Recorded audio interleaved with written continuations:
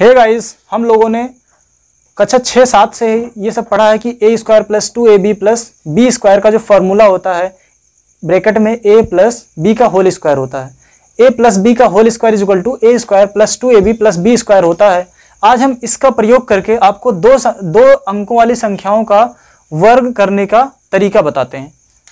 यहाँ पे आप लोगों ने पढ़ा है ए प्लस बी का होल स्क्वायर बराबर होता है a square plus two a b plus b square. अब मान लेते हैं कि दो संख्या है, एक लेते हैं पंद्रह, ठीक है? हमको पंद्रह का करना है वर्ग तो हम इसमें जो है ए बराबर एक, बी बराबर पाँच, मान लेते हैं। अब यहाँ पे हम करेंगे ए का स्क्वायर, टू ए बी और बी का स्क्वायर। ए की जगह एक है तो ए का स्क्वायर करेंगे two into a into b, और बी की जगह कितना है? फाइव है, ठीक? तो यहाँ पे इसका जब स्क्वायर करेंगे तो एक हो जाएगा। दो एक अनंत, दो दो पंचे, दस, पचम, पच्चीस। ठीक? अब हमको करना कुछ नहीं है। हमको जो है सिंपली यहाँ पे जो बी स्क्वायर था, जब बी स्क्वायर करेंगे तो इसमें जो इकाई का अंक होगा, जो इसमें इकाई का अंक होगा, उसको यहाँ पे ऐसे उतार लेंगे। कितना आया? पाँच आया। ठीक? अब यहाँ पे जो दो बचा, इसको यहाँ पे ऐड कर लेंगे इसमें। कितना? दस और दो? ये बारह हुआ। फिर इसमें जो इकाई का अंक आया इसको यहाँ पे उतार लेंगे, कितना हुआ? दो। यहाँ पे एक बचा, इस एक को यहाँ पे ऐड कर देंगे, एक एक, दो। कितना आया? हमको आया पंद्रह का स्क्वायर करेंगे तो दो सौ पच्चीस होगा। चलिए हम दूसरी संख्या लेते हैं। चलिए लेते हैं हम चौबीस। क्या लेते हैं? चौबीस। तो यहाँ पे ए बराबर दो बी बराबर चार। तो फिर लिखते हैं वैसे ए का स्क्वायर टू ए बी और बी का स्क्वायर ए की जगह दो है तो दो दूनी चार हो जाएगा। और ये टू, दो दूनी चार चार चौक सोलह, यानी कि दो गुड़े दो, गुड़े चार, और बी की जगह चार है।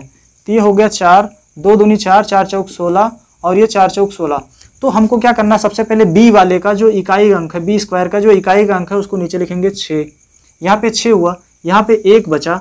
अब इस एक को इसमें जोड़ेंगे तो हो जाएगा यहाँ पे सोलह, एक, सत्रह। अब सत्रह का यहाँ पे इकाई का अंक हम सात लिखेंगे, फिर यहाँ पे एक बचा। एक को ले जाके इसमें जोड़ देंगे तो कितना हो जाएगा? एक प्लस चार, कितना पाँच? तो यहाँ पे जो आएगा, चौबीस का स्क्वायर आएगा, वो हो जाएगा पाँच सौ छिहत्तर। कितना? पाँच सौ छिहत्तर। चलिए कोई दूसरी संख्या लेते हैं। कोई दूसरी संख्या लेते हैं। मान लेते हैं, हम लेते हैं पैंतालीस। क्या लेते हैं? पैंतालीस। हमको करना है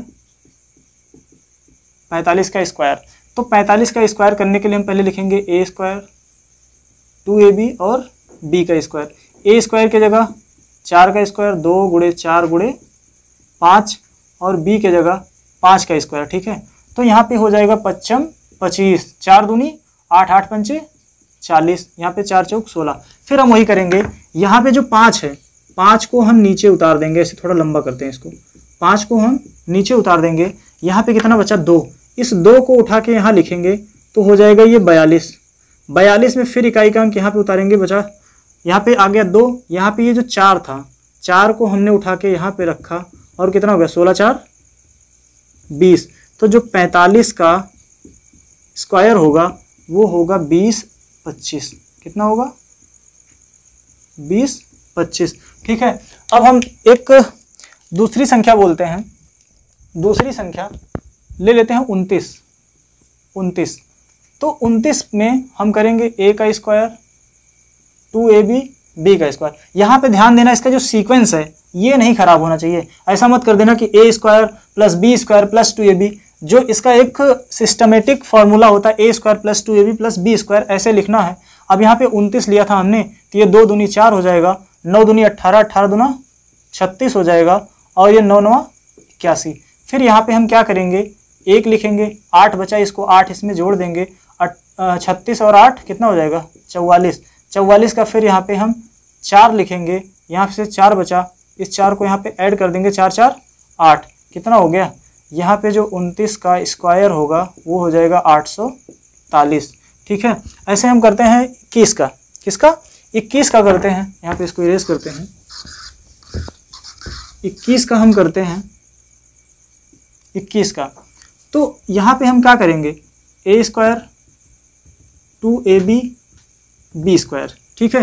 तो यहाँ पे बी का इसको पहले करेंगे दो दूनी, चार, ये दो एक नम दो दूनी, चार, एक नम एक। यहाँ पे चूँकि क्या है, एक है, आगे कोई संख्या नहीं है तो यहाँ पे ज़ीरो जुड़ेगा ये चार, यहाँ पे आगे कोई संख्या नहीं, यहाँ पे आके ज़ीरो जुड़ेगा चार। कितना हुआ? इक्कीस का वर्ग जो होगा, वो होता है चार सौ इकतालीस, ठीक है? अब हम एक संख्या बोल रहे हैं, उनसठ।